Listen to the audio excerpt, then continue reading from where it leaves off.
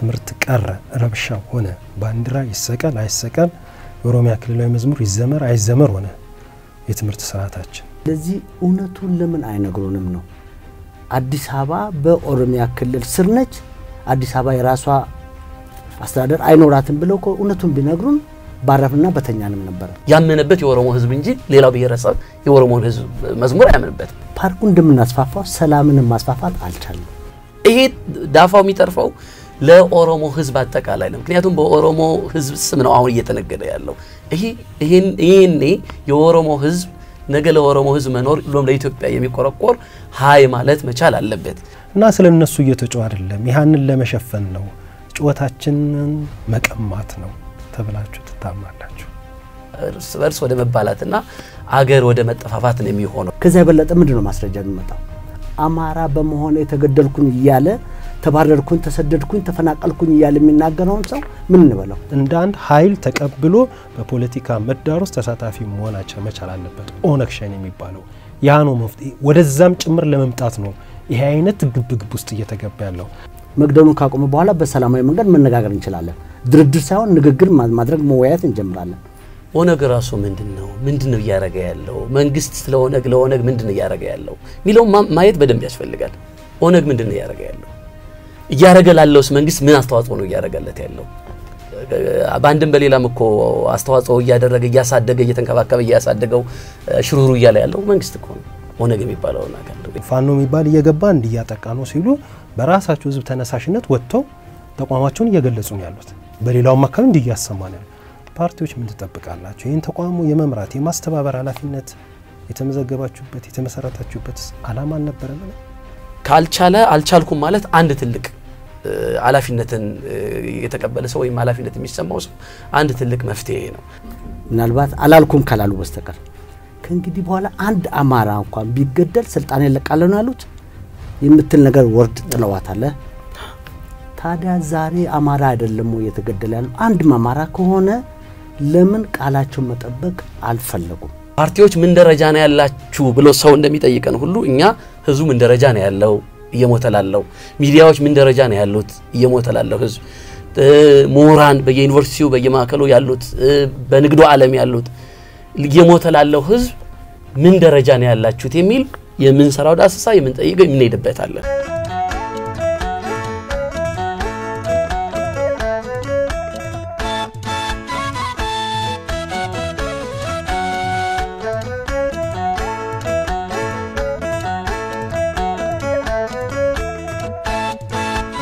ሰላም ጤና ይስጥልን ተመልካች አድማጮቻችን፣ ይህ ስለ ሀገር ስለ ኢትዮጵያ የተሰኘው መሰናዶ ነው። ዛሬ ለእናን ለተመልካቾቼ ከእንግዶቼ ጋር ቆይታ የማደርግበት ርዕሰ ጉዳይ የዘር ፍጅትና የዲሞክራሲ አፈና የተሰኘ ነው። ዛሬ በዚህ መሰናዶ ጥሬን አክብረው እዚህ ስቱዲዮ ድረስ የተገኙልኝ እንግዶቼ የኢትዮጵያ ሕዝብ አብዮታዊ ፓርቲ ኢህአፓ ሊቀመንበር ረዳት ፕሮፌሰር ዝናቡ አበራ እንዲሁም ደግሞ የእናት ፓርቲ የውስጥ አመራርና ማስተባበሪያ ኃላፊ መምህር ሳሙኤል አለሙ ናቸው። እንግዶቼ እንኳን ደህና መጣችሁ። ጥሩ እንግዲህ ዛሬ ከላይ ለመግለጽ እንደሞከርኩት ቆይታ የምናደርግበት ርዕሰ ጉዳይ የዘር ፍጅትና የዲሞክራሲ አፈና የተሰኘ ነው። ይህንም ልንመርጥ የተገደድንበት በዋነኝነት ከትላንት ትላንትና በሶስት ፓርቲዎች መያድ፣ ኢህአፓ፣ እናት ፓርቲ የሰጣችሁት መግለጫ አለ። በመግለጫችሁም ላይ የመንግስት መዋቅርን ጨምሮ የጅምላ ጭፍጨፋ ተሳታፊዎች በሙሉ ከተጠያቂነት አያመልጡም ስትሉ ሶስታችሁ ፓርቲዎች የሰጣችሁት መግለጫ አለ። እንዲሁም ደግሞ ዘላቂ ሰላም እስኪሰፍን ድረስ በወለጋ አካባቢ በኮማንድ ፖስት ስር እንዲተዳደር መከላከያም አካባቢም እንዲቆጣጠርም እንጠይቃለን ስትሉ በትላንትናው ዕለት ሰፋ ያለ መግለጫ ሰጥታችኋል። እንግዲህ በዚህ በመግለጫችሁ ዙሪያ ላይ እንዲሁም አንዳንድ ሀሳቦችን አንስተን ነው ቆይታ የምናደርገው። ከምንም በላይ ግን ጥሪም በማክበር በድጋሚ ስለመጣችሁልኝ እግዚአብሔር ያክብርልኝ። እኛም ከልብ እናመሰግናለን ስለጋበዛችሁን። ጥሩ እንግዲህ እስኪ እናንሳና ይህ ትላንትናው የመግለጫችሁ አጠቃላይ ይዘት ምን ይመስላል? ረዳት ፕሮፌሰር ዝናቡ። መግለጫ ስናወጣ የትናንትና የመጀመሪያ ጊዜያችን አይደለም። እኒሁ ሶስት ፓርቲዎች ሆነን በተለያየ ጊዜ ከአራት ዓመት ጀምሮ በዚህ በወለጋ በሚባለው አካባቢ ኦሮሚያ ውስጥ የሚደረገውን ዘር ተኮር፣ ብሔር ተኮር፣ ብሔረሰብ ተኮር፣ ጎሳ ተኮር ግድያን፣ መፈናቀልን፣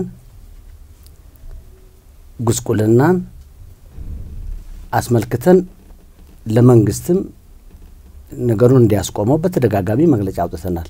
የትናንትናው ግን በተለይ በሰሞኑ ከዚህ ከህዳር 19 ጀምሮ እየተደረገ ያለው ግድያ እጅግ አሳሳቢ ነው። ይህም የሚሆንበት ምንድን ነው? የሚደርሰን መረጃ ምንድን ነው የሚለው ድረሱልን ብለው ለመንግስት ተቋማት ሲያመለክቱ መንግስት በጊዜው አይደርስላቸውም። አንድ ሌላው የመንግስት የጸጥታ ኃይሉ ልክ እንደወጣ እነዚህ ገዳዮቹ ይገባሉ በእግሩ። ምን አይነት መናበብ ቢኖር ነው? ወይስ ራሳቸው ሆን ብለው የሚያደርጉት የሚለው ጥርጣሬ ወስዶናል። ይህም ደግሞ ትልቁ መነሻችን ነው። አራት አመት ሙሉ አንድ አካባቢ እኮ ነው። ሌላ አካባቢ ላይ ያለፈ ያለፈ ቢሆን አዎ፣ ግን አንድ አካባቢ ወለጋ ላይ ብቻ ይሄ ግድያ ለምን እንዲያተኩር ተደረገ? እሱ ያሳስበናል። መንግስት ይህንን ማስቆም እንዴት አቃተው? ምክንያቱም ሌላውንም ኃይል እኮ አስቆሞታል። ኃይል የለኝም ካለም ጥሪ ማድረግ ነው፣ አይናገርም። ግን በየዕለቱ በየሰዓቱ፣ በየወሩ ግድያ መስማት የኢትዮጵያም ሕዝብ በእውነት ልቡ ደማ፣ አንገቱን ደፋ። ከዚህ የበለጠ ምንም ሊመጣ አይችልም። መንግስቱ ይህንን አስቁም ነው አሁን እያልን ያለው እየጠየቅና ነው። መንግስት አስቁመው፣ መከላከያም ዝም አትበል፣ የሀገር ጠባቂ ነህ፣ የህዝብ ጠባቂ ነህ ተብለ አደራ ተሰጥቶሃል።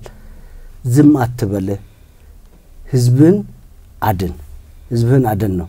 በእርግጥ የአማራ ብቻ አይደለም፣ ለዘብተኛ ኦሮሞዎች ይገደላሉ።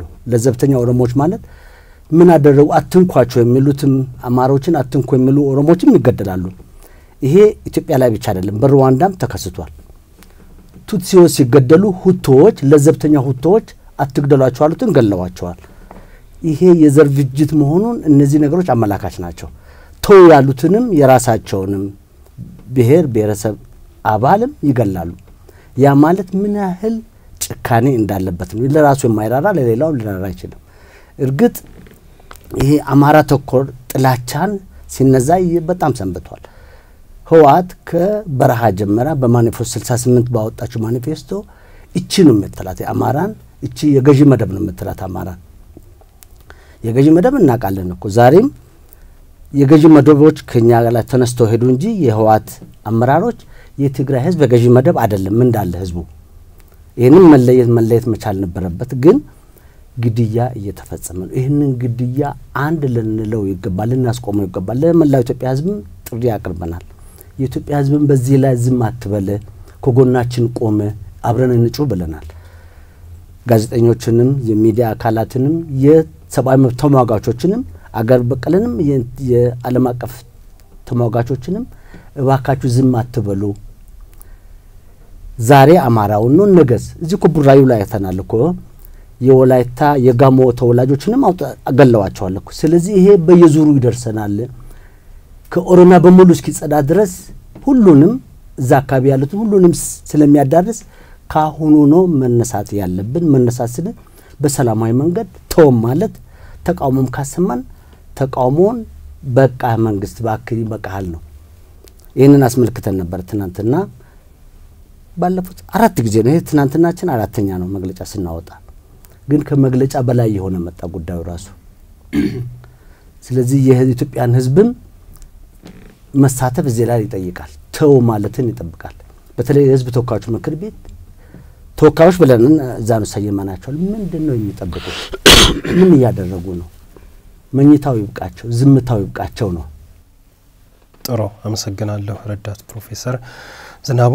መምህር ሳሙኤል እንግዲህ አጠቃላይ የመግለጫችን ይዘት ይህን ይመስላል ሲሉ ነው እንግዲህ ፕሮፌሰር የገለጹልን። እርስዎ ደግሞ እስኪ ይሄ ከሆነ ችግሩ መፍትሄውስ ምን መሆን መቻል አለበት? በእርግጥ እሳቸውም ነካክተውታል። በእርስዎ በኩል የሚያክሉት ሀሳብ ካለ? እሺ አመሰግናለሁ። ይሄ መግለጫና ወቅታዊ ጉዳይ አሳሳቢ የሚሆነው ጉዳዮቹ በተለይ የሚመለከተው አካል በዋናነት መንግስት ነው። በቀጥታ የሚመለከተው መንግስት የሆነበትም ዋና መሰረታዊ ጉዳይ እንደዚህ አይነት ችግሮች እንዳይፈጠሩ እንዲጠብቅ ነው። እጅግ በጣም አሳሳቢ የሚሆነው ግን ጉዳዩ የሚመስል መንግስት አይደለም እያየን ያለ ነው። አይመለከተኝም አይነት የሆነ ያለውን አልሰማሁም አይነት ጭምር ነው። እንግዲህ አደረጃጀት ያለው አገር እየመራው ነው ብሎ የሚያስበው መንግስት ልክ እንደማይሰማ ጆሮ እንደሌለው መሆኑ እጅግ አሳሳቢ ያደርገዋል። እውነት ነው። ይሄ የወለጋ ጭፍጨፋ የአሁን ብቻ አይደለም። በተለይ አማራ ተኮር ደግሞ የሆነው ጭፍጨፋ ደግሞ አምሳ ዓመት የዘለቀ ብዙ ረጅም ዓመት ያስቆጠረ ነው። ግን በተለይ በዚህ አራት ዓመት ደግሞ ጭራሽ እንደው ለማስመሰል እንኳን ተብሎ አለንላችሁ የሚል እንኳን መንግስት የለም። ቢያንስ እንኳን እውነታው እንኳን እንዳለ ሆኖ ግን ለማስመሰል አሁን ተደጋጋሚ እውነት ነው ጥሪ የምናቀርበው ለመንግስት ነው። ምክንያቱም መንግስት የቆመው አንደኛ ሀገር እንዲጠብቅ ነው። ሁለተኛ ከእንደዚህ አይነት ጉልበታምን ከሚሉት አደራጅቶ ፖሊስ አለው፣ መዋቅር አለው። በመዋቅሩ መሰረት ህዝቡን ወይም ያልተደራጀውን አካል እንዲጠብቅ ነው እና ይሄን መጠበቅ ባለመቻሉ ነው እየጮህን ያለ ነው። ዞሮ ዞሮ መፍትሄ የሚሆነው እና ለሀገርም ይብን ለራሱ ለገዢው መንግስትም ጭምር በተለያየ በመዋቅር ደረጃ እስከታች ላለው አመራር መፍትሄ የሚሆነው ህግና ህግ አስከብሮ መቀጠል ብቻ ነው። እንደዛ ካልሆነ ለራሱ ለገዢውም ለሀገርም አይጠቅምም እና ለሁላችንም ጠቃሚ እንዲሆን ጠቃሚ በሆነ መልኩ መካሄድ አለበት። መፍትሄ የሚሆነው ይሄ ነው። መንግስት ጥሪያችንና የመጀመሪያው የተቋቋምከው ደካሞችን ወይም ህዝብን ለመጠበቅ የህዝብን ደህንነት ለማስጠበቅ ነው። ፕሮፌሰር ቅድም ብለዋል። ካልቻለ አልቻልኩም ማለት አንድ ትልቅ ኃላፊነትን የተቀበለ ሰው ወይም ኃላፊነት የሚሰማው ሰው አንድ ትልቅ መፍትሄ ነው። አለመቻሉን ወይም አለመሳወቅ አይ አልቻለም መንግስት እውነት ነው አልቻለም ብሎ መደምደም አይቻልም። በእኔ በኩል አልቻለም ብዬ ስለማምነው አልፈለገም ብዬ ነው ማምነው። ይሄ እንዲሆን ወይም ሰላም እንዲሰፍን የሚሞቱት እንዲቆሙ ማትረፍ አልቻለም እና በመጀመሪያ ደረጃ ፍላጎት ህዝቡን መጠበቅ ወይም ኃላፊነታቸውን ተቀብለው በአግባቡ ሀገርን ማዳን ህዝቡን መጠበቅ ፍላጎት ያላቸው ወደፊት እንዲመጡ ማድረግ አንዱ መፍትሄ ነው ለመንግስት። እውነት በዚያ መካከል በመንግስት መዋቅር መካከል እንደ መቶ በመቶ አይፈልጉም ብሎ መደምደም ስለማይቻል ፍላጎት ያላቸው ምናልባት ህዝብን መጠበቅ ኃላፊነታቸው መወጣት ካሉ ኃላፊነት የሚሰማቸው ሰዎች ወደፊት ቢያመጡ አንድ ትልቅ መፍትሄ ነው እና ሁሉም ግን ባለድርሻ አካላት በአጠቃላይ መንግስትን ጨምሮ ሚዲያዎች፣ የውጩ ዲያስፖራ፣ ሌላውም አካል መጮህ አለበት። የምንድን ነው የሚባለው? ጎረቤት ሲታማ ለእኔ ብለህ ስማ ይባላል። ዛሬ እያንኳኳ ያለው ዛሬ እየሆነ ያለው ነገር ጎረቤት ላይ ብለን ከወሰድ ነው ምናልባትም ነገ እኛ ቤት ማይመጣበት ምክንያት የለም። ቤት አጠገብ ጎረቤት ላይ የተለኮሰው እሳት እዚህ ያለውን ሲጨርስ አንተ ጋር መምጣቱ አይቀርም። ፕሮፌሰር እንዳሉት በአንድም በሌላም ተብሎ የሚነገረው አሁን ኦሮሚያ ምድር ላይ ያው ህገ መንግስቱ ኦሮሚያ የሚባለውን ለኦሮሞዎች ወይም ቋንቋ ለሚናገሩት ወይም ኦሮሚያንን ኦሮሞንን ብለን ለሚያምኑት ብቻ ነው ስለሚል በዛ መሰረት እዚያ ያለውን አካል እናጸዳለን ተብሎ ሊሆን ይችላል። ምናልባት ቁጥሩ አማራው ስለሆነ ዛሬ ላይ እየተገደለ ያለው አማራው ነው። ግን ጽዳት ስታጸዳ እውነት ነው መጀመሪያ የምታነሳው ዋና ዋናውን አይደለ? ከዚያ እያልክ ትሄዳለህ። ከዚያ መጨረሻ ላይ በውሃም እኮ ታጸዳዋለህ። መጀመሪያ በዋና መጥረጊያ እንደዛ ነው እየሆነ ያለው እና በዚህ ልክ ተሰምቶን መውረድ ካልቻልን ህብረተሰቡም እያንዳንዱ በግለሰብ ደረጃ ምሁራንን ብለው የሚሉ ወይም በምሁር ደረጃ የሚያሉ የሚሰማቸው እንዳሉ ሆነው ግን ወደፊት መተን ዛሬውኑ ሀይ ማለት ትልቁ መፍትሄ ነው ብለን እናስባለን። ህገ መንግስቱ ይከበር። በዋናነት ሰው መኖር ባለበት መልኩ ህገ መንግስቱ ይከበር ስንል ያው ህገ መንግስቱ የመጨረሻ መፍትሄ እንዳልሆነ እናምናለን። ህገ መንግስቱ ችግር ያለበት በራሱ ህገ መንግስቱ የወለደው ችግር ነው አሁን ራሱ ያለው ግን እሱ እንኳን ሆኖ እሱ እንኳን ሆኖ እሱም ባለበት ራሱ ከነዛው ችግር ያለበት ህገ መንግስት እሱ ራሱ መከበር አልቻለም እና ለዚያ ነውና መፍትሄ የሚሆነው የሚመለከተው አካል ኃላፊነቱን ሲወጣ እሱ ትልቅ መፍትሄ ነው ብለን እናስባለን። ጥሩ እንግዲህ አመሰግናለሁ። እስኪ በእነዚህ ጥቅል ሀሳቢ መግለጫችሁ ምን ይመስላል የሚለውን ያው ፕሮፍ አቅርበውልናል። እንዲሁም መምህር ደግሞ መፍትሄ ብለን ከዘረዘርናቸው ውስጥ በጥቂቱ ብለው ለተመልካቾቻችን ገልጸውልኛል። እጅግ አድርጌ ያመሰግናለሁ። ያው ሙሉ መግለጫችሁ በተለያየ ሚዲያዎች ላይ ተገልጿል አለ እሱን ማየትም ይቻላል። ግን እዛ ላይም ካሉት ውስጥ አሁንም ካነሳችሁ ውስጥ የሚነሱ ጥያቄዎች አሉ። ወደ እነሱ ነው የምንሄደው። እንዶ በቅድሚያ የሚባለው ነገር ምንድን ነው ይሄ ነገር እንደው ከአማራነት በአንድም ይሁን በሌላ መንገድ በተገናኘና ከመቆርቆር አንጻር ካልሆነ በስተቀረ ራሱ ይሄ ችግር ተፈጠረበት የሚባለው እየተጎዳ ያለው ቁጥሩ እንደውም በበለጠ ባልተናነሰም ሰሞን በበለጠ ራሱ ኦሮሞ ነው። ለኦሮሞ ድምጽ መሆን ሲገባ ምናልባት ከሚባሉ አንጻር ነው ማነሳው የድሮ ስርዓት ናፋቂ የነፍጠኝነት ስሜት የሚሰማቸው የጠቅላይ ገዢነት ስሜት ያላቸው ኃይሎች የተረባረበ ጥያቄ ነው አሁን ላይ ሰሞኑ እየተባለ ያለው እንዳውም ከብዝ ግዛትና ከስፍራ አልፎ መጥቶ ለመውረር የሚደረግ ጥረትና መከላከል ነው። በዚህም ምክንያት ከሶስት መቶ ሺህ በላይ ኦሮሞዎች ተፈናቅለዋሉ። በብዙ ቁጥር ያለው ተገድለዋሉ እና ስለ እነሱ እየተጮ አይደለም። ያህንን ለመሸፈን ነው፣ ጩኸታችንን መቀማት ነው ተብላችሁ ትታማላችሁ መምህር? እሺ አመሰግናለሁ። በመጀመሪያ ደረጃ የሚጀምረው አሁን እየሆነ ላለው እልቂትና ግድያ ፊሽካው በሉ ጨርሱ፣ ቀጥሉ የሚለው ፊሽካ የተነፋው እዚሁ እዚሁ ዋናዎቹ ኃላፊዎች እዚሁ ዋናዋ ከተማ እዚሁ መስቀል አደባባይ እና እዚሁ ቤተ መንግስት አካባቢ የሚጀመር ነው። በነገራችን ላይ ያው ሰበር ናቸው እኮ አንዱ ማሳያ ነው። ቀጥሉ ማለት እኮ ነው በሌላ መልኩ እና ሌሎቹም ብዙ ማሳያዎች አሉ። ስለዚህ ፊሽካ የሚጀምረው እዚህ ነው። ሁለተኛ እያጠፋ አንተ የበላይ ሆነ ከታች ያለ አመራር እያጠፋ በአንድም በሌላም ህዝቡን እየበደለ ማትቀጣው ማትጠይቀው ከሆነ ይሄ ቀጥሉ ማለት ነው። ስለዚህ እየሆነ ያለው አንደኛ መነሻው ከዚህ ነው። ወደ አነሳው ጥያቄ ስመለስ ኦሮሞ እየተጎዳ አይደለም የሚል እሳቤ የለንም። ኦሮሞ ብቻ አይደለም፣ ሌላውም ብሔረሰብ ይጎዳል። ይቅርታ ለምሳሌውና አህያና አህያ ሲራገጡ የሚጎዳው ሳሩ ነው ይባላል። እነሱ ምናልባት የተራገጡት በራሳቸው ሀሳብ በራሳቸው ፍላጎት ሊሆን ይችላል። ሳሩ ግን እዚያ ውስጥ ፍላጎት የለውም።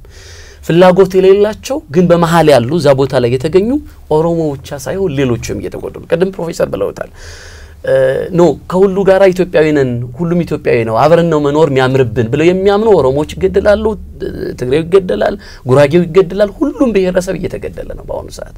የማይገደለው በግልጽ ቋንቋ ለመግለጽ ህግ ለምን አስፈለገ ብሎ ወይም ህግ አልባ የሆነው ነው የማይገደለው ገዳይ በአሁኑ ሰዓት በአሁኑ ሰዓት እንደ ኢትዮጵያ ኢትዮጵያን በትክክል ስትገልጻት ህገ ወጥ መሆን በቃ የመኖር ዋስትና እየሆነ ነው እየመጣ ያለው። ህጋዊ የሚሆኑ ሰዎች መኖር እየቻሉ አለም። ስለዚህ ህገወጥ ህጋዊ ስንል ህግ አክብረው በህግና በኢትዮጵያዊነት እሴት ላይ የሚኖሩ ኦሮሞዎች አሉ፣ ሌሎቹ ማህበረሰቦች አሉ። እውነቱ ነው እየሞቱ ነው። እኛም በመግለጫችን ላይ አማራ ብቻ ነው አላለም።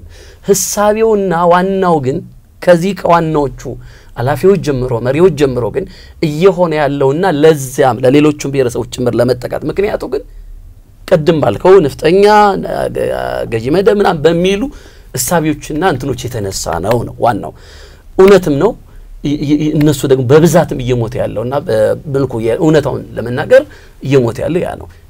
እስካሁን የተሰደዱት አራት ዓመት ሙሉ እየተመለሰ የለም፣ የተካሰ የለም፣ ምንም የሆነለት የለም። ህጻናት ሳይቀሩ ማንነታቸው የሶስት ዓመትና የአራት ዓመት ህጻናት ሳይቀሩ ማንነታቸው እየተጠየቀ እየተገደሉ እነሱ ሳይቀር ለምን ማህፀን ምን ሶስት ዓመትና አራት ዓመት ስላለ በማህፀን ያሉ ጭምር ሳይቀር እየተገደሉ እና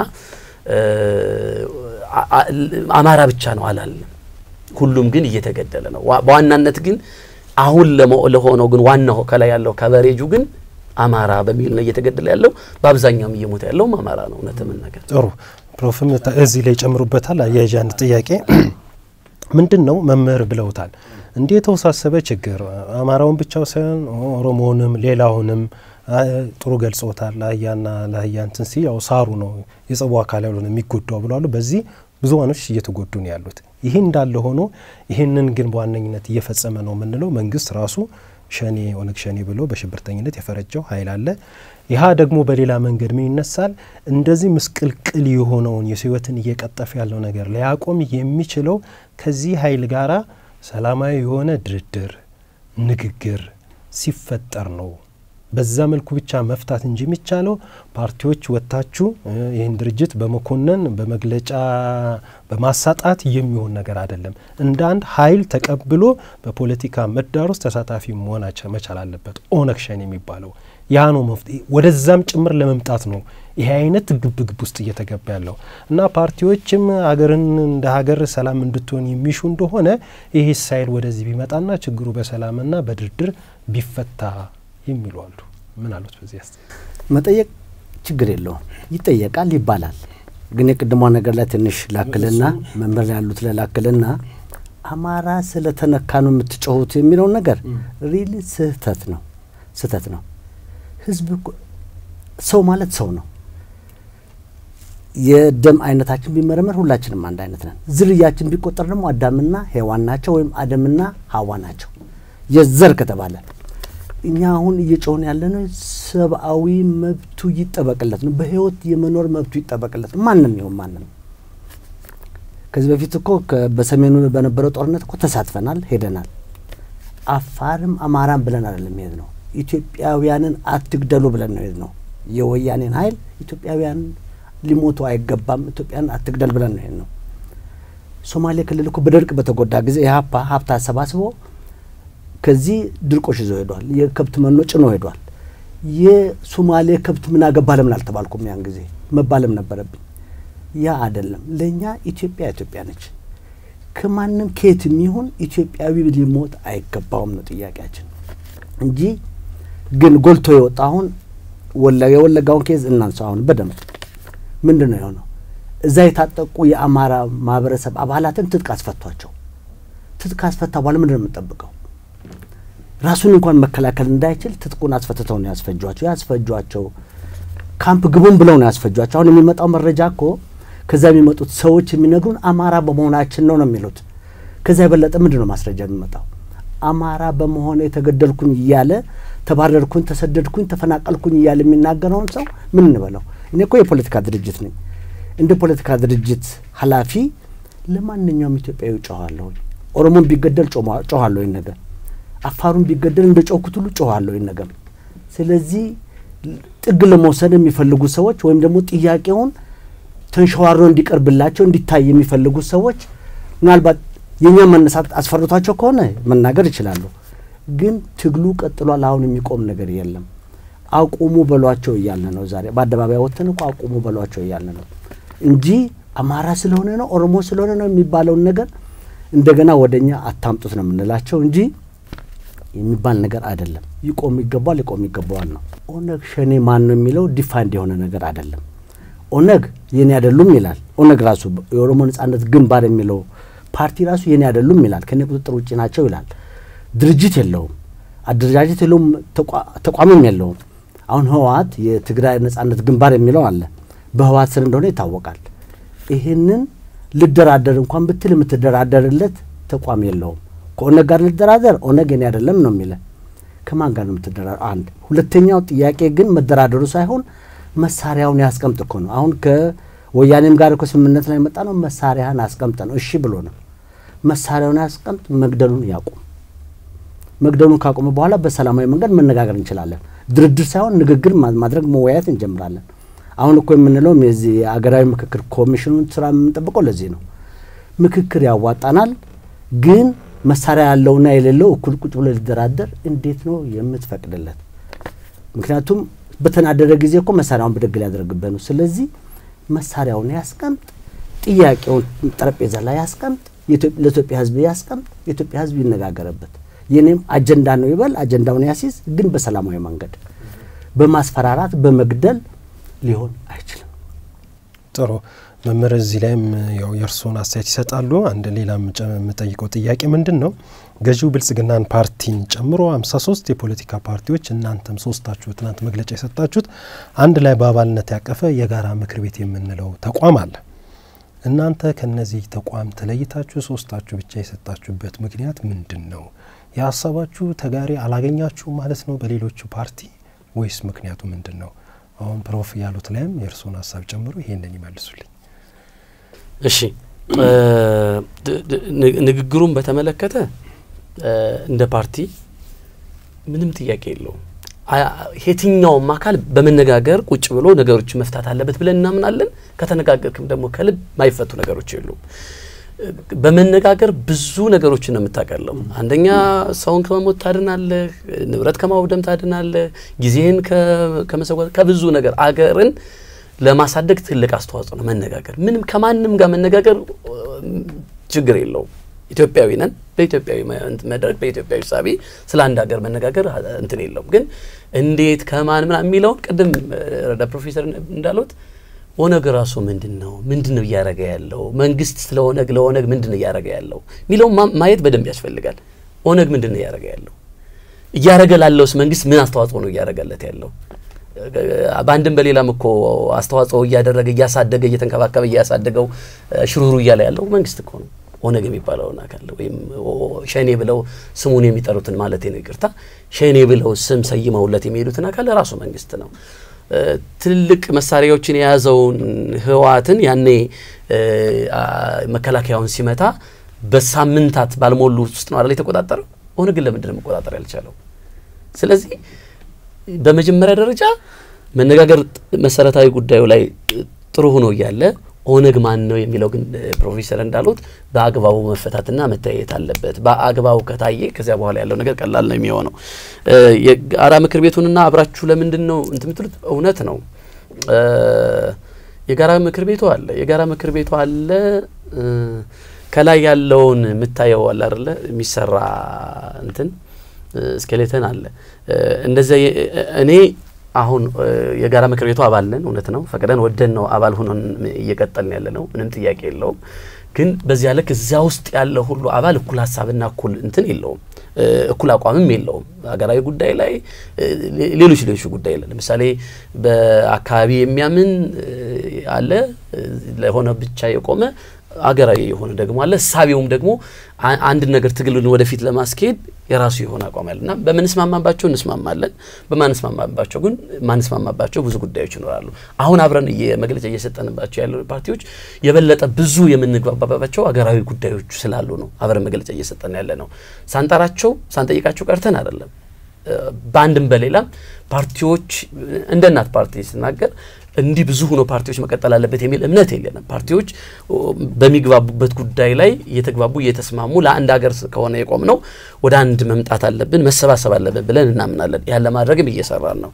ግን አሁን ላይ አንገብጋቢ ለሆነው ጉዳይ በቅርበት ተገናኝተን መስማማት የቻልነው ለዚህ ጉዳይ ተመሳሳይ አቋም ማራመድ የቻልነው አሁን ካሉት ፓርቲዎች ጋር ስለሆነ ነው። ይህም መግለጫ በጋራ የሰጠ ነው። እንግዲህ አሁን ጥሩ እያመጣን ጥያቄዎችን ምናል በዚህ በማነሳቸው ነገር ህዝቡም ይህን ፕሮግራም የሚከታተልም ሰው ግልጽነቱን ስለሚፈልግ ነው እያነሳሁት ያለሁት። ሌላው ደግሞ ከዚህ ጋር አሁን ከጋራ ምክር ቤትና ከፖለቲካ ፓርቲዎች ጋር በተገናኘ ያነሱት ሀሳብ እንዳለ ሆኖ መምህር ምንድን ነው ጠቃቅሰውታል።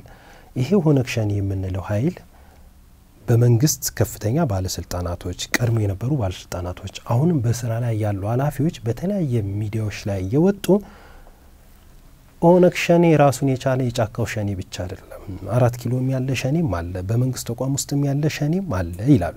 ከምንም በላይ ደግሞ በተለይ በኦሮሚያ አካባቢ ላይ ሸኔ ሲጀምርም የተቆጣጠራቸው ቦታዎች፣ አካባቢዎች አሉ፣ ራሱ እያስተዳደራቸው ያለው ማለት ነው። በዚህ ሁኔታ እንደዚህ አይነት አደገኛ የሆነ ግስጋሴ ውስጥ ያለ ተቋም የመንግስት እጅ የለበትም ብሎ ማመን ከባድ እንደሆነ በሰፊ እየታመኑ ያለው ይሄ በሆነበት ሁኔታ ግን እናንተም በመግለጫችሁ እንደገለጻችሁት አሁንም ደጋግማችሁ እንደምታነሱትም መንግስት መፍትሄ ሊያበጅልን ይገባል፣ መንግስት እንዲያድርግ፣ መንግስት እንዲሁን እያላችሁ ነው ያላችሁት። ራሱ አንድ እጁ የመንግስት እጅ ሸኔ ውስጥ ሆኖ ራሱ የችግሩን ባለቤት መፍትሄ ይስጠን ማለት አይጋጭም ወይ? ፕሮፍ አይጋጭም፣ አይጋጭም። ምክንያቱም ይሄ ትልቁ ጥያቄ ለኢትዮጵያ ሕዝብ ነው፣ ለመንግስት ብቻ አይደለም። ምክንያቱም ትናንትና ያስተዳድረኛል ብሎ የመረጠው ፓርቲ ነው ይህንን ነገር እየፈጸመው ያለው። ስለዚህ ሕዝቡ ወደ አእምሮ ይመለሳል ብለን እንገምታለን፣ ወደ ልቦና ይመለሳል ብለን እንገምታለን። መንግስትንም እየገመገመበት ይሄዳል፣ ነጥቦችን እየያዘ ነው የሚሄደው። በዚህ ጊዜ ይህንን ይህንን ነገር ለምን አላደረግክም እያለ ነው። ምክንያቱም ማስረጃ አለው። አሁን እኛ የምናወጣው መግለጫ ማስረጃው ነው። በዚህን ጊዜ እዚህ ቦታ ላይ ሰው ሞቷል። አንዳንድ ጊዜ ምናልባት ክቡር ጠቅላይ ሚኒስትር ዶክተር አብይ አህመድ ይሉታል short memory ነው ያለው ይላል ህዝቡን። short memory ካለን አንድ ነገር ከሳቸው ንግግር ብጠቅስ ምናልባት አላልኩም ካላሉ በስተቀር ከእንግዲህ በኋላ አንድ አማራ እንኳን ቢገደል ስልጣን የለቃለሁ ነው ያሉት የምትል ነገር ወርድ ጥለዋታል። ታዲያ ዛሬ አማራ አይደለም ወይ እየተገደለ ያሉ? አንድም አማራ ከሆነ ለምን ቃላቸውን መጠበቅ አልፈለጉም? አሁንም የጠየቅነው እኮ ማብራሪያ ስጡን ነው። ውጡና ንገሩን። ወይ ከኛ ቁጥጥር ውጪ ነው ከኛ አልቻልነውም፣ ወይም ደግሞ እኛም አውቀነዋል የሚለውን ነገር ንገሩን እኮ ነው እያልናቸው ያለ ነው። ስለዚህ ትልቁ የኢትዮጵያ ሕዝብ ነው ኃይሉ። እነዚህ ነገሮች አይምሰሉ ይድነቃች አይደለም። የኢትዮጵያ ሕዝብ ሞኝ ይመስልሃል? አይደለም። ብልህ ነው፣ አስተዋይ ነው። ይቋጥርልሃል። እየቋጠረበት ነው የሚሄደው። መቼ ግን ቋጠሮውን እንደሚያጠብቅበት ማንም ሰው አያውቅም። አመራሮች፣ አገዛዞች ብዙ ጊዜ የሚሳሳቱት እሱ ላይ ነው። ሁለቱንም ሰልፍ ይወጣሉ። አገዛዙ ህዝቡ ሁለት ጊዜ ሰልፍ ይወጣል። ደስ ሲለውም ይወጣል፣ ሲያዝንም ይወጣል። ግን ሁለቱም ጊዜ ደስ ያለው ይመስለዋል። እሱ ላይ ነው የሚሸወዱት። ስለዚህ ጥያቄው አሁን ለህዝብ ነው፣ ወደ ህዝብ ነው የወሰድነው እንጂ መንግስትንም ጠፍቶን አይደለም እኮ እያደረገ ያለውንም ጠፍቶን አይደለም። ህዝብ እባክህን እወቀው፣ አስቆመው ነው። ምናልባት እኮ ሰላማዊ የትግል ዘዴዎች አሉ ብዙ። ቤት ውስጥ መዋል አንዱ ሊሆን ይችላል። ለምሳሌ ግብር አልከፍልም ቢልስ እዛ ላይ ቢደርስ ህዝቡ እዛ ላይ ቢደርስ ሰውን ማስቆም ካልቻልክ ግብር አልከፍልም ብሎ ቢያው ቢያው ቢናገርስ ሊሆን የሚችለውን ነገር ማንም አያውቀውም። ግን ህዝቡን ነው አሁን address እያደረግን ያለ ነው እንጂ መንግስትማ መንግስት ነው ያውቀዋል እኮ አያውቀውም ብለንም አይደለም። ጥሩ ያው ለአንዳንዳችሁ የምጠይቀውን ጥያቄ ተጨማሪ ማድረግ ትችላላችሁ። ጊዜ ለመቆጠብ ያህል ነው። መምህር በማነሳው እሺ፣ አልጨረሱት ሀሳብ ተፎካካሪ የፖለቲካ ፓርቲዎች ሀምሳ ሶስት እናንተ ጋር የምንሰራው ለምን ብቻችሁን ሰጣችሁ የምትለው ነገር ላይ መግለጫ ሲወጣ አሁን እኛ ያደረግነው ሶስቱ ፓርቲዎች መግለጫውን መውጣት እንዳለበት አመንን። መግለጫው ይዘት ላይ ተነጋገርን። ትክክል ነው ብለን አምነን አወጣ ነው። ሀምሳ ሶስቱም ፓርቲዎች እንደዛ ነው የሚያደርጉት። ሀምሳ ሶስቱም መነጋገር አለባቸው። መግለጫው ላይ ሲግባቡ ብቻ ነው መግለጫው የሚወጣው። ለመግባባት ምን ያህል ጊዜ ይፈጃል? አስበው፣ ሀምሳ ሶስት ፓርቲዎች። ስለዚህ ይሄ ደግሞ ነገሩ ይደር ይውላል የሚባል ነገር አይደለም። አጣዳፊ ነው። የሰው ህይወት ነው እየጠፋ ያለው፣ ንብረት ነው እየወደመ ያለው። ሰዎች ናቸው ከቤት ንብረታቸው ተፈናቅለው ጎዳና ላይ ያሉት። መጠለያ እንኳን አንዳንዱ ያላገኘም አለ። ጫካ ውስጥ ነው እኖራሉ የሚባለው። ስለዚህ ጊዜ ለማይሰጥ ነገር ነው እንጂ ጉዳይ ነው እንጂ ሀምሳ ሶስቱን አንነጋገርም ብለን አይደለም፣ ወተንም አይደለም። ከዛ ውስጥ ግን ጊዜ አያስፈልገውም አጣዳፊ ነው ብለን ነው የወጣ ነው። ተጨማሪ ግን ይሄ እንትን በተመለከተ ምናልባትም የሆነ ባለው ተቀባይነት ያላቸው ትክክል ነው ብለው የሚያምኑ ሊኖሩ ይችላሉ። የከሌ ነው ብለህ ብላጠቅስም ተቀባይነት የለውም ብለው ካመኑ መቃወም አለባቸው። ዝም ካሉ ግን accept አድርገውታል ማለት ነው። ስለዚህ እነሱን ማሳመን በራሱ አንተ ስራ እንዳሰራ ነው የሚያደርግ። ቅድም እንዳሉት አንደኛ ብዙ ናቸው፣ ሁለተኛ ምናልባትም ላለመቀበል ትክክል ነው ብለው የሚያምኑ ሊኖሩ ይችላሉ። አይኖሩም ብለህ አታምንም። ይህ ማሳየው አሁን እንደነገርኩ ነው። የከሌ ነው ባትልም ባለመቃወም ነገሮችን በመለሳለስ መሄድ አለመቃወም በራሱ መቀበል ነው። በነገራችን ላይ ነገር የሆን እየሆነ ያለውን ትክክል አይደለም ማለት በሌላ መልኩ ትክክል ነው እያልክ ነው። ጥሩ። ሌላው prof አሁን ወደ መጫ እርስዎም አንስተውታል። አሁን ትልቁ ጥያቄ የምትጠየቁት ምንድን ነው? እንዲህ አይነቱ ጭፍጨፋ በተፈጸመ ቁጥር እንዲህ አይነቱ ግፎች እንግዲህ ለቁጥር የሚታክት ነው። እጅግ በጣም በተደጋጋሚ ነው እያየን ያለ ነው። ይሄ ነገር አላባራ ብሏል። ይሄ ዘር ጭፍጨፋው በሆነ ቁጥር ፓርቲዎች በተለይ በዚህ ነገር ላይ በሀገር ውስጥ ካሉ ፓርቲዎች በስም ትጠቀሳላችሁ። ጉዳዩን አስመልክቶ ማውገዛችሁ ይሄ ነገር ለምንስ ብሎ በመጠየቅ እናት፣ ሚያድ እንዲሁም ደግሞ የአፓ ሌሎችም ፓርቲዎች በስም ተጠቃሽ ናቸው። ግን እየሆነ ምንድን ያለው ጊዜያዊ የሆነ መግለጫ ከመስጠት ባሻገር ለችግሩ እውነተኛ መፍትሄ በትክክል ሰፍሮ ማስቀመጥ ላይ አደገኛ ዳተኝነት አለ ፓርቲዎች ላይ። አሁንም ቢሆን የትናንቱ የእናንተ መግለጫ ላይ real መፍትሄ የመስጠቱ ነገር ላይ የታዩ ችግሮች አሉ። በትክክል በቃ ይሄ ዝም ብሎ ለማለት ለመናገር ለመግለጫ consumption ለመግለጫ ፍላጎት ማሟያ ብቻ ነው እንጂ የምር ችግሩን የመፍታት ነገር የለም ተብላችሁ ትወቀሳላችሁ፣ ትታማላችሁ።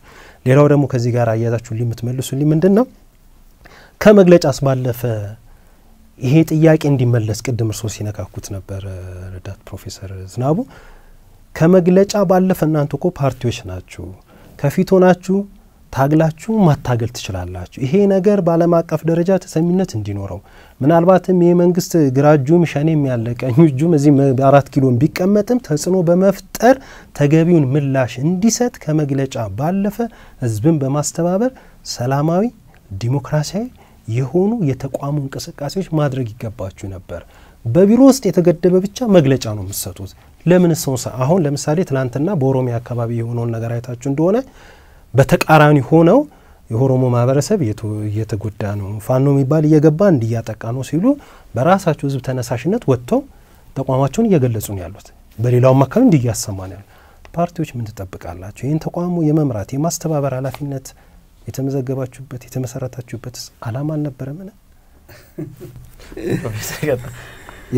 ጥሩ ጥያቄ ነው ነሳው። ጥሩ ጥያቄ ነው በጣም ምን እያደረገ ተኝታችኋል ነው? ይቅርታ አልተኛንም።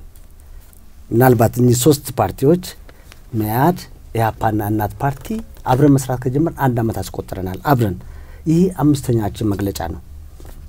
ምክንያቱም አብሮ መስራት ቀላል ነገር አይደለም። በተለይ እንደ ኢትዮጵያ ባለች ውስብስብ ሀገር ውስጥ ፖለቲካው ተወሳሰበበት አብሮ መስራት ቀላል ነገር አይደለም።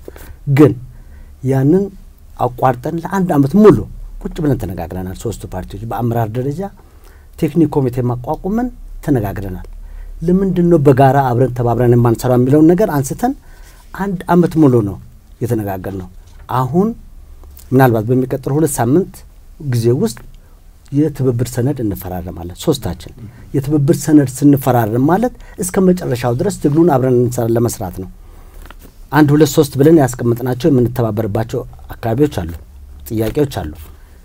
ስለዚህ የእኛ ትልቁ ግብ ትልቁ ግብ አሁንም እዚሁ ላፍርጠዋል ምንም ወደኋላ ማለት አስፈላጊ አይደለም። ይህንን እጃችን ላይ ያለውን ህገ መንግስት መለወጥ ነው። ምክንያቱም የችግሮች ሁሉ ችግር መንስኤው ህገ መንግስቱ ነው።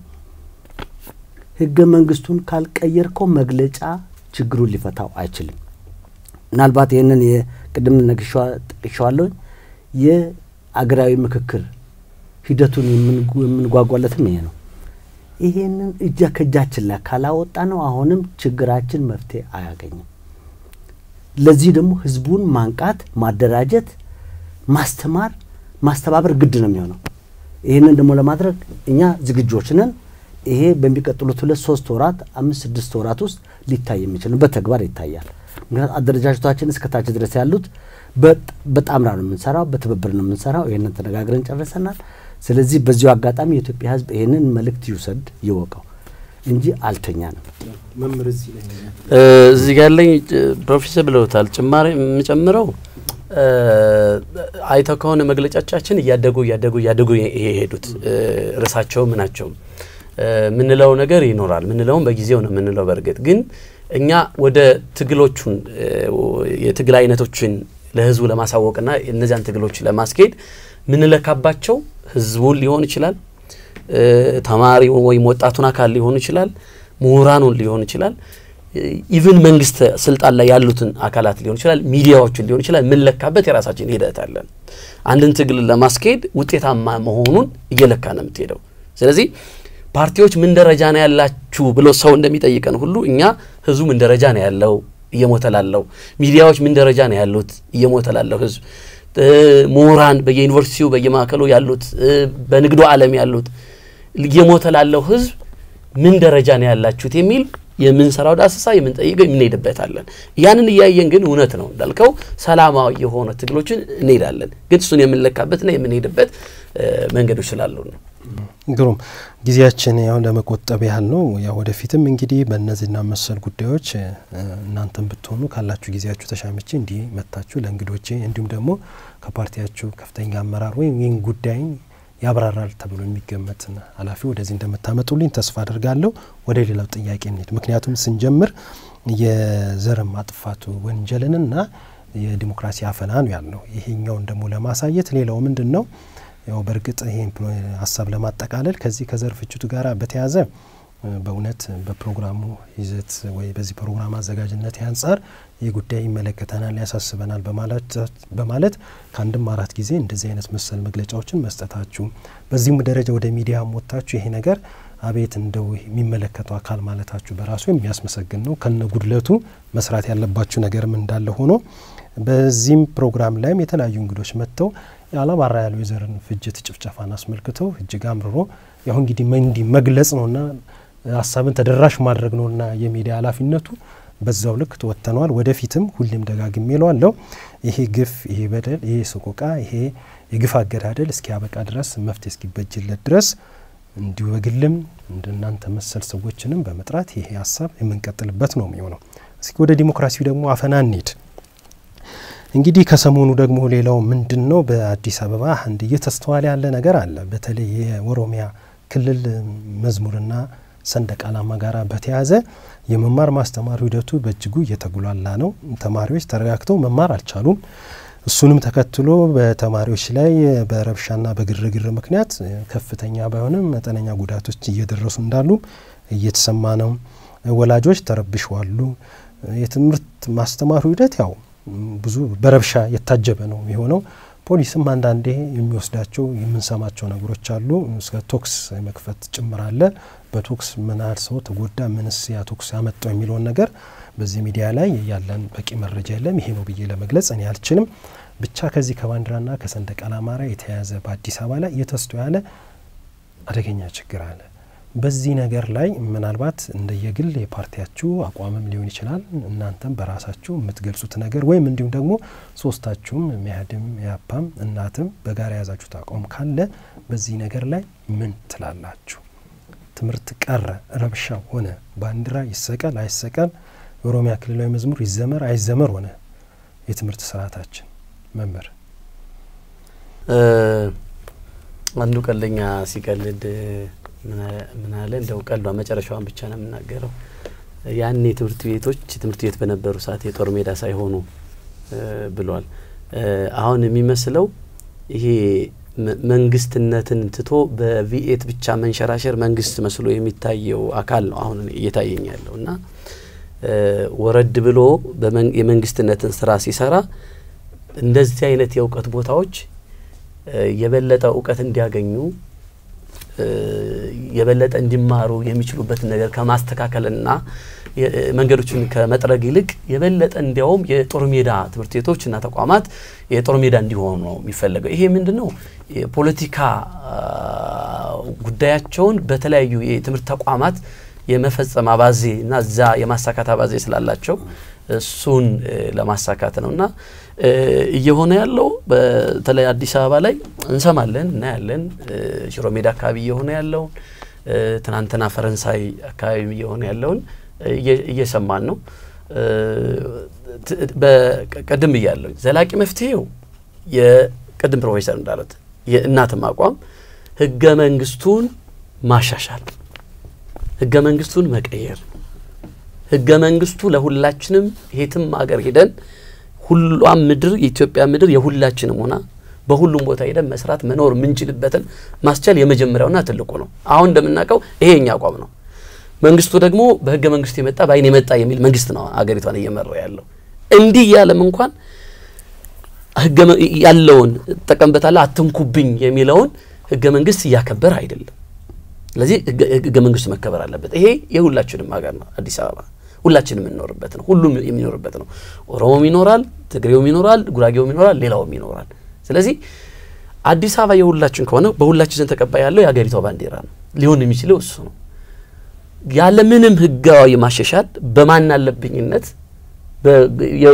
ቅድም ተናገር ያለው የጉልበተኞች ጊዜ በማደጋገ ሁኔታውን እያደረጉ ነው። ለጊዜው ሊመስል ይችላል ጊዜ የኔ ነው ብለህ ጉልበታምነት ታንኩም ባንኩም እጄ ላይ ነው ብለህ ሁሉን ነገር ማድረግ ያረክ ይመስልህ ይችላል። ግን እያደረክ ያለው ለህዝብም ለሀገርም ለወገንም የሚጠቅም አይደለም። ስለዚህ ምንለው በአገሪቷ ህግ መሰረት ይሄድ። ሁለተኛ የባንዲራ ጉዳይ ይፈታል ብለን የምናምነው በምክክር ኮሚሽኑ ነው ተብሎ የሚታመን አንድ ነገር አለ የሚነገር በህዝቡ ዘንድ ምክክር ኮሚሽኑ መንግስት ጊዜ ለመግዛት ሆን ብሎ ያስቀመጠው ነው የሚመስል ስራ ነው እየሰራ ያለው። ይሄ የሚነገረውን መንግስት እድሜ ለማራዘም ነው የሚያደርገው ምክክር ኮሚሽን ያቋቋሙ የሚለውን መንግስት እየሰራው ያለ ባለው ስራ ተነስተ እውነት ነው ማለት ትችላለህ። አሁን ስለ ባንዲራ አንስተ እውነት ይሄንን ኮሚሽን የምታምነው ከሆነ እና ውጤት ያመጣል ብለህ የምታምን ከሆነ የምትደግፈው ከሆነ አንዱ ልዩነታችን ወይም የህዝቡ ልዩነት የባንዲራ ጉዳይ ነው።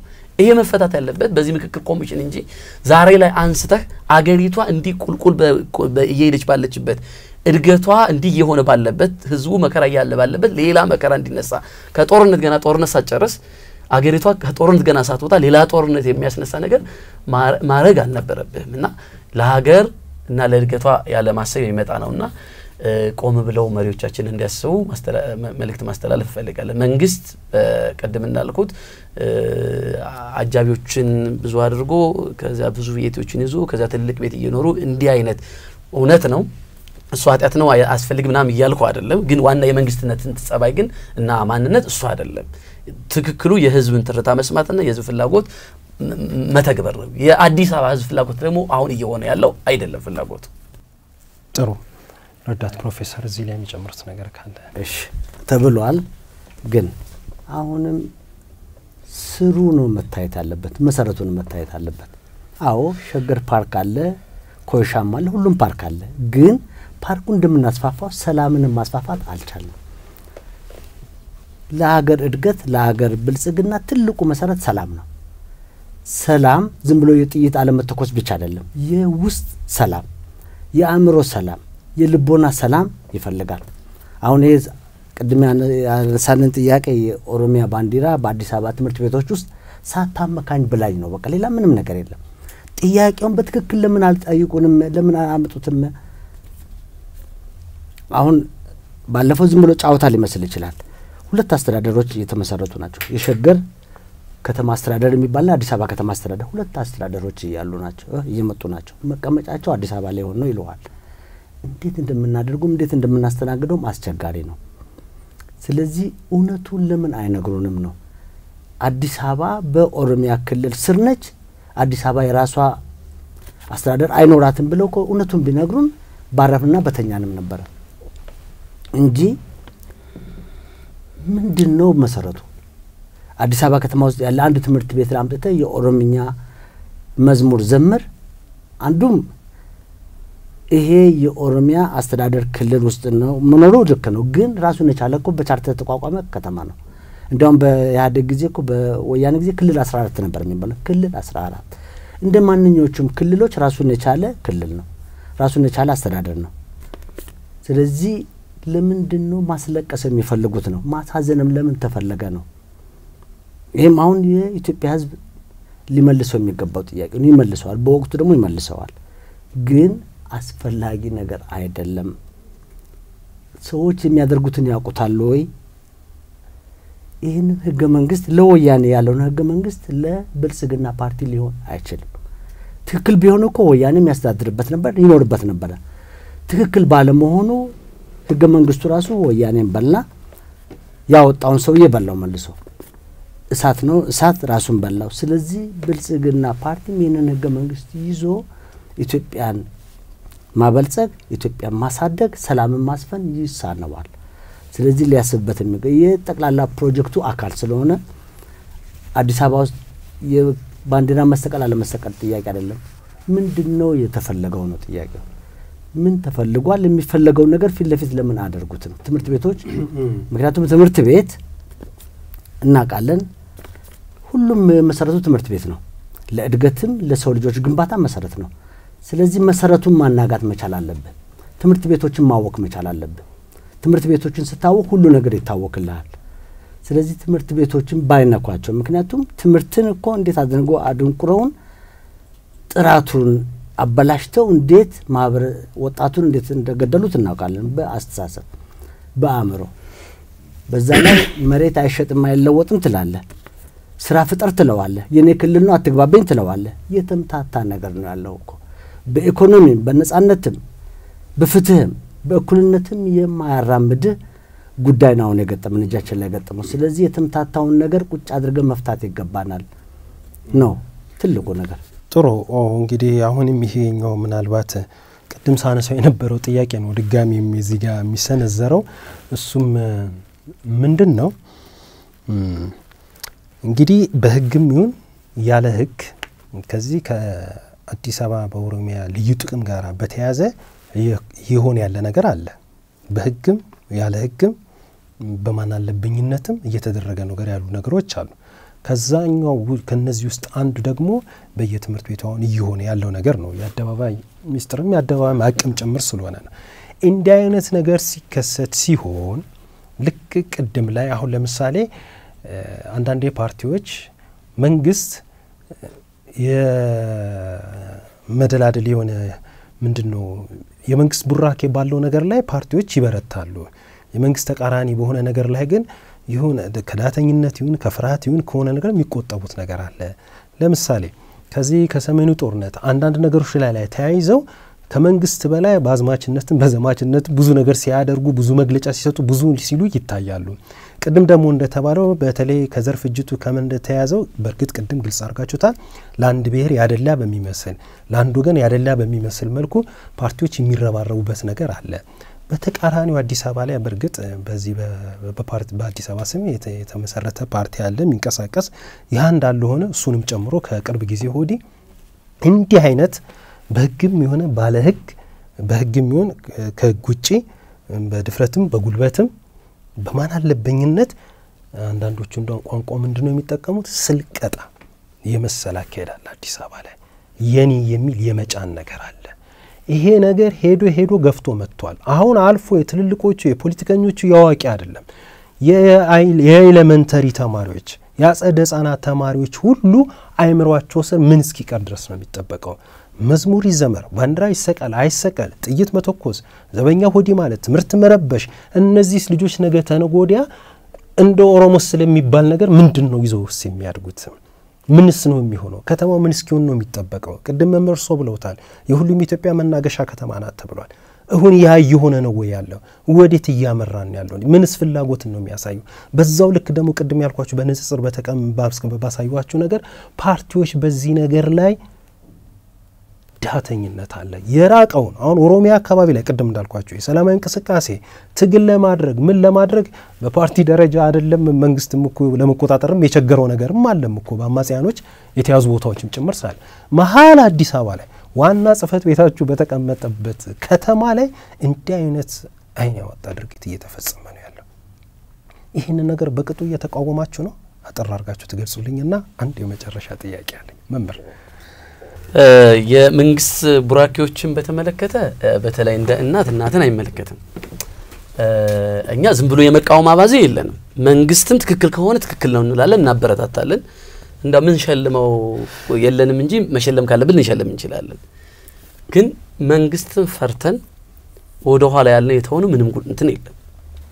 ብዙ እንትኖች ይኖራሉ ምቹ ያልሆኑ ብዙ ነገሮች ይኖራሉ። ከዚያ ከዚያ አንጻር ሊሆን ይችላል። እና የደገፍናቸው መንግስትም ከመንግስት ጋር የሰራ ናቸው መንግስትንም ጥሩ ነው ያልናቸው። አንደኛ መንግስትን ብቻ ከመደገፍ አንጻር ሳይሆን ለሀገር ካለው ትርፍ አንጻር ነው፣ ለህዝብ ካለው ትርፍ አንጻር አንዳንዴ በቃ ዝም ብሎ እየሄደ ያለበትን መንግስት ገብተ ምናልባት እንደው ደግፈኸውን ከነጉድለቱ ምናልባት ከተስተካከለ ብለ ስታምን ነው የምትሄደው እና በዛ ልክ የሚሄዱ ሊኖሩ ይችላሉ። ግን የእናት ፓርቲ አቋም ይሄ ነው። ስልቀጣዎችን በተመለከተ እውነት ነው አዲስ አበባን እንደዚያ የማድረግ ስራዎች እየተሰሩ ነው ይላሉ። አካላ የሚሄዱ አካላትም አሉ። እንደዛ ነው የሚሄደውም የሚሄድበትም እየተሄደ ያለበትም እንደዛ ነው። አሁን አስብ የየራስ መዝሙር አለህ። አንተ ኦሮሞ ነህ፣ አንተ ጉራጌ ነህ፣ አንተ ምናምን ብለህ ከፋፍለው የአንተ መዝሙር አለ የአንተ መዝሙር ይሄ ነው ምናምን ብለኸው ከዛ ሌሎችም ብሔር ብሔረሰቦች ሰማንያ ምናምን ያላቸው መዝሙር ያላቸው ወይም ክልሎች ብለው ወሰደውና አስራ ሁለት አካባቢ ወይ ምናምን የእነሱን ትተህ የከል የሚባለውን መዝሙር ብቻ ግን ትዘምራላችሁ። የከል የሚባለውን ባንዲራ ግን እንዲህ ታደርጋላችሁ። ምን ማለት ነው ይሄ? ይሄ ማለት ምን ማለት መሰለ? ነገ ሲዳማ ክልልም ጉልበት ሲኖረው ሲዳማም ክልል እንትኑን ባንዲራውን መዝሙሩን ምናምን ይዞ መጥቶ ከኢትዮጵያ መዝሙር ቀጥሎ ከኢትዮጵያ ባንዲራ ቀጥሎ ወይም ደግሞ ምትክ ሊል ነው ማለት ነው። ስለዚህ የጉልበተኞች ጊዜና የጉልበታሞች ጉልበታም ደግሞ ሁሌ ጉልበታም ሆና አትኖርም። ይሄ ዳፋው የሚተርፈው ለኦሮሞ ሕዝብ አጠቃላይ ነው። ምክንያቱም በኦሮሞ ሕዝብ ስም ነው አሁን እየተነገደ ያለው። ይሄኔ የኦሮሞ ሕዝብ ነገ ለኦሮሞ ሕዝብ መኖር ብሎም ለኢትዮጵያ የሚቆረቆር ሀይ ማለት መቻል አለበት። ከተዘመረም ቅድም ፕሮፌሰር እንዳሉት በቻርተሩ መሰረት እሱም በሱ ደረጃ ተፈቅዶም ከሆነ ሊፈቀድ የሚችለውም ለሁሉም ክልሎች ነው። እሱ ደግሞ ለትምህርቱ አስፈላጊ ለወጣቱ ማነጽ ወጣቱን ለማነጽ አስፈላጊ አይደለም። አስፈላጊ አስፈላጊ ነው ተብሎ ከታመነም የሚወስነው ሳምበዲ አንድ አካል የሆነ ሰው ምናምን ሳይሆን ህዝቡ ነው የሚወስነው። በህግ ነው የሚወሰነው እንጂ አንድ አካል ህጉን ሊያስፈጽም ነው የተቀመጠው እንጂ የፈለገውን ሀሳብና ፍላጎት ሊያንጸባርቅ አይደለም እየሆነ ያለው እና የሚመስሉ ነገሮች አሉ። እውነት ነው የሚመስሉ ብቻ ሳይሆን እየተፈጸሙ ያሉ እየተከናወኑ አዲስ አበባ ላይ እየሆኑ ያሉ አሉ። ግን መጨረሻችን እርስ በርስ ወደ መባላትና አገር ወደ መጠፋፋት ነው የሚሆነው። የትዕቢተኞችና የብሔርተኞች ደግሞ መጨረሻቸው በጣም አሰቃቂ ነው የሚሆነው። እውነት ለመናገር በጉልበት የሚፈጸም ለጊዜው ነው። አንድ ምሳሌ እንትን ልበል። አንድ ታሪክ አንድ ወጣት ልጅ አነስ ያለ ልጅ አንድ ጎልማሳ ያባረረዋል እና ሲያባረረው እየሮጠ እየሮጠ አመለጠውና ተራራ ላይ ተራራ ላይ ቆሞ ቆይ አንተም ታረጃለህ እኔም አድጋለሁ አለ ይባላል። ይሄ እኛ ለጊዜው ዛሬ ጉልበት አምነን እንጨፍልቃችሁ እናንተ ደግሞ ደጉና ኑ ደግሞ ተረኛ ሁኑ እንደማለት ነው። አሁን ይሄ የተራ ጉዳይ አገርንም ሕዝብንም አያሳድግም። ሕግ አክብሮና በሕግ ለሀገር ለነገ ለመቶ ዓመት ለሺህ ዓመት የሚጠቅም መስራት ነው የሚጠቅመው። አሁን እየሆነ ያለው አዲስ አበባ ላይ የባንዲራ ጉዳይ ብሎም የመዝሙርን ጉዳይ even ለኦሮሞ ሕዝብ ጉዳት እንጂ ጥቅም አይደለም። መዝሙሩን በማዘመር አይደለም የኦሮሞ ህዝብ የምጠቅመው፣ ባንዲራውን በማሰቀል አይደለም የኦሮሞን ህዝብ የምጠቅመው። የኦሮሞ ህዝብ ብዙ የልማት ጥያቄ ያለበት ቅድም እንዳልነው ከሚሞቱት ከሌሎች ብሔረሰቦች ጋር አብሮ እየሞተ ነው። የኦሮሞ ህዝብ የሚፈልገው እነዚያን ነገር እንድታደርግለት እንጂ ሌላውን እንድታጠቃለት፣ ሌላውን እንድታሳድድለት፣ ሌላውን እንድትገልለት የሚፈልግ ወይም ምናልባትም የኦሮሞ ህዝብ ነው ብለን ብናምን የኦሮሞ ህዝብን ሁሉም አምኖበታል ብለን ብናምን እውነት ነው። የኦሮሞ ህዝብ ባንዲራ ነው፣ የኦሮሞ ህዝብ መዝሙር ነው። ግን ሁሉም አምኖበታል እንኳን ብለን ብታምን ያመነበት የኦሮሞ ህዝብ እንጂ ሌላው ብሔረሰብ የኦሮሞን ህዝብ መዝሙር አያምንበትም፣ or እንዲዘምረው አይፈልግም። ካልፈለገ ደግሞ በህገ መንግስቱ ልታስገድደው የሚያስቀምጥበት ምንም እንትን የለም እና ሁሉም በአግባቡና በስርዓቱ ቢሆን ጥሩ ነው። አንደኛው ሌላው ደግሞ ከዚህ ከዲሞክራሲ አፈናና ልክ እንዲህ ነገር ጋር የሚያያዘው ከሰሞኑ እጅግ አነጋጋሪ የሆነው ነገር ምንድን ነው? የጉራጌ የክልል እንሆን ጥያቄ ጋር በተገናኘ ነው። ይህ የጉራጌ ክልልን ጥያቄ እንግዲህ ህገ መንግስቱ ከነ ችግሩም ቢሆን ህገ መንግስቱን ሂደት የታለፈበት ስለመሆኑ እዚህም የጋበዝኳቸው ተደጋጋሚ እንግዶች አሉ፣ ገልጸዋሉ። በምክር ቤታቸው በምን በምን ሂደቱ የሚጠብቀውን ሂደት የታለፈበት ነገር አለ። ከዛም አልፎ ደግሞ በአካባቢው የታወጀ ኮማንድ ፖስት አለ። ይህንን ጥያቄ የሚያቀነቅኑም ለእስር የተዳረጉም ጭምርም አለ። ከዚህም ከጉራጌ የክልልነት ጥያቄ ጋር በተያያዘና በመንግስት በኩል እየተሰጠ ያለው ምላሽ ግብረ መልሱን አስመልክተው ያው ቅድም እሳቸው ባሉት ላይ ጨምሮ ይመልሳሉ። በዚህ ጉዳይ ላይ እርስዎ ማጠቃለያ ያደርጋሉ። መመር እኔ አፍንጫችሁ ስር እየደረገ ያለውን ነገር እያያችሁ ዝም አላቸው ነው የምትልን። አዎ እውነት ነው። ግን እኛ የምንለው ፖለቲካ የአንድ ሳምንት ስራ የሁለት ሳምንት ስራ አይደለም ነው። ለትውልድ የሚሸጋገር ስራ ሰርተ ነደፍ ነው። የቴምር ጥያቄ ነው እንጂ የበቆሎ ዘር አይደለም። በቆሎ በሶስት ወር ውስጥ አደርሰዋለን። ግን እንደ ኢትዮጵያ ያለው ውስብስብ ችግር ያለበት ሀገር ለረጅም ጊዜ የሀገር ውስጥ ችግር ብቻ እኮ አይደለም፣ ከውጭ ተሸክሞ የመጡትም ችግር አለ ኢትዮጵያ ላይ። ስለዚህ የቴምሯ ጥያቄ ነች። አንድ ታሪክ ዝም ብዬ ላምጣልህና አንድ ጓደኛው በመንገድ ሲያልፍ እርሻ ውስጥ ጓደኛውን ያየዋል። ምን እያደረክ ነው ይለዋል። ቴምር የቴምር ዛፍ እየተከልኩ ነው ይለዋል። ይስቅበታል። ከት ብሎ ይስቅበትና የጠያቂው ነው ኮኮኮኮ ይልና መቼ ደርሶ ልትበላው ነው ቴምሩን የምትተክለው ይለዋል። ወንድሜ አሁን የምበላውን ቴምር እኮ አያቴ ናቸው የተከሉት ነው ያለው። አያቴ የተከሉትን ቴምር ነው ዛሬ የምበላው። ስለዚህ እኛ በአንድ ቀን ምሽት በሁለት በሶስት ቀን ምሽት አይደለም ኢትዮጵያን መገንባት የምንፈልገው ችግሯን ቀርፈን ለሚመጡት ትውልዶች ማሳለፍ ነው። ስለዚህ ብልሃት ይፈልጋል፣ ጥበብ ይፈልጋል። ኢትዮጵያን ዝም ብለህ በአንድና በሁለት ሳምንት ውስጥ ጨርሰዋል የምትለው አይደለም። አሁን የምናያቸው ምልክቶች ናቸው። በሲፕተም የሚሏቸው ናቸው ፈረንጆች ምልክቶች ናቸው። እኛም ምልክቶች ላይ አይደለም አሁን እየጮህን ያለ ነው። ዋናውን የኢትዮጵያ ችግር እንፍታ ነው። ስለዚህ ዋናው የኢትዮጵያ ችግር ሲፈታ አሁን የምናያቸው ሁሉ ምክንያቱም ያንን የምንለው ኢትዮጵያ ሶስት ሺህ ዘመን ታሪክ አላት ነው የምንለው ያለፈ ነው። መጪው ነው የሚበልጠው፣ ያለፈው ጊዜ ይበልጥብናል ነው እኛ ወደፊት ገና ከሶስት ሺህ በላይ ትኖራለች ነው ኢትዮጵያ። የኢትዮጵያውያን ልጅ ልጆቻችን whatever ሶስት ሺህ ዘመን በላይ ይሻገራሉ ነው። ስለዚህ ዛሬ የምንሰራው ፖለቲካ ለሚመጣው ሶስት ሺህ ዘመን ከዛም በላይ እንጂ ላለፈው ሶስት ሺህ አይደለም። ያለፈውም አልፏል፣ ግን ባለፈው መንገድ አንሄድም ነው። በአዲስ ምልከታ ፌዴራሊዝም ማለት ምንድን ነው? ያን define እያደረግን ነው አሁን። ፌዴራሊዝም ማለት እኮ ራስን በራስ ማስተዳደር እንጂ የራስን እድል በራስ መወሰን አይደለም ድረስ ነው። ነው የሰው ልጅ ራሱ የሰው አካላት የሰው አካል በ federal system ነው የተዋቀረው አይደለም የሚለውንም ጀምረነዋል።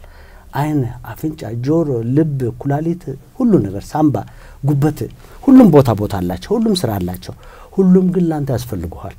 እኛ ሰማንያ ዘጠና ብሔር ብሔረሰቦች አሉን እንበል ሰማንያ ዘጠኛ ዘጠናዎቹም ያስፈልጉናል። ምክንያቱም አንድ አገር ውስጥ ነን ያለ ነው።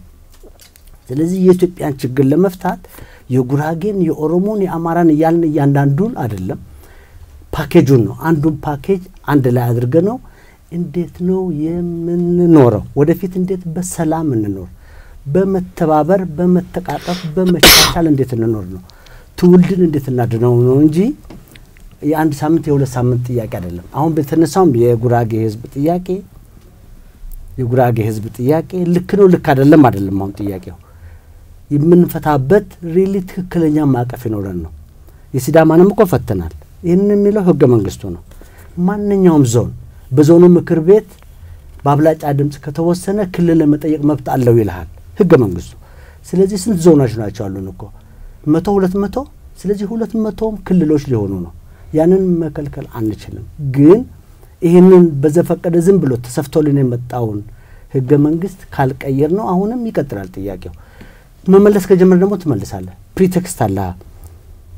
የሲዳማን ጥያቄ ፈታሃል፣ ቀጥ ቀጥላል። ዞኖችን በሙሉ እየፈታ መሄድ አለብን ማለት ነው። ስለዚህ መቶም ክልሎች ይኖረዋል፣ ሁለት መቶም ክልሎች ይኖረዋል ያለው መንግስት አሁን መግለጫ ቢሰጥበት ጥሩ ነው። ፊት ለፊት ወጥቶ ከዚህ በላይ ክልል እናስተናግድም የሚለውን ነገር ያስቀምጠው ከፈለገ። ግን ያ ሊሆን አይችልም። ዲሞክራሲ ለአንዱ ተሰጥቶ ለአንዱ የሚነሳ ነገር አይደለም። ከተሰጠ ለሁሉም ነው የሚሰጠው። በኮማንድ ፖስት ስር በምናምን ስር አለምን የምር ጥያቄ እኮ ነው። ሶስት ጥያቄዎች አሉን ብለናል። በመሰረታዊነት ነጻነት፣ ፍትህና እኩልነት። በነጻነት የመኖር መብት አለው ይህ ህዝብ። የጉራጌ ማህበረሰብ በነጻነት የመኖር መብት አለው። በዚህ ውጣ በዚህ ግባ ሊባል አይችልም። ግን ጥያቄውን በሰላማዊ መንገድ የማቅረብም ደግሞ ግዴታ አለበት።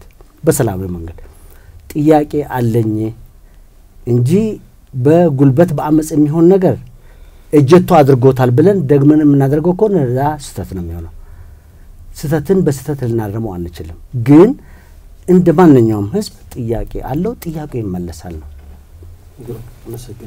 እሺ ብዙ አይደለም የምጨምረው፣ ግን ምን መሰለ double standard የሄደ ያለውን መንግስት ሀይ የሚለው ያስፈልጋል። እንደዚህ መሆን አዋጭ አይደለም። አሁን መንግስት እየሆነ ያለው ህጉን ሳይሆን የሚያስፈጽመው ስሜቱን ነው። ስሜት እንደምታስፈጽመው ሂደህ ካፌ ባለህ ብር የፈለግህን አዘህ መብላት እንጂ የስሜትህን ህዝብ መርጦኛል ካልክ የመረጠህ በዚህ ህግ አስተዳድረኝ ብሎ ነው።